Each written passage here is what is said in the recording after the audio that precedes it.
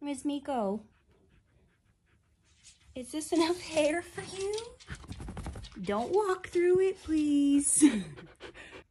Miko is being very patient today, as you can see. So about an hour and a half of grooming for all of this. And yes, it was just one side.